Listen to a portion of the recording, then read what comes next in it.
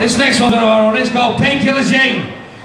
We've, uh, we've got to rush through because we're behind time, so we're just going to rush through. No banter, no chatter.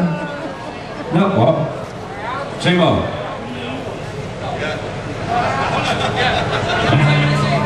What? Sam, we only got two more, is that alright?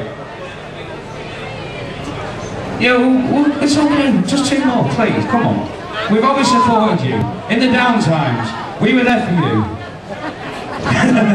this next one's Painkiller Jane. I've just been told to hurry up. What? Come on.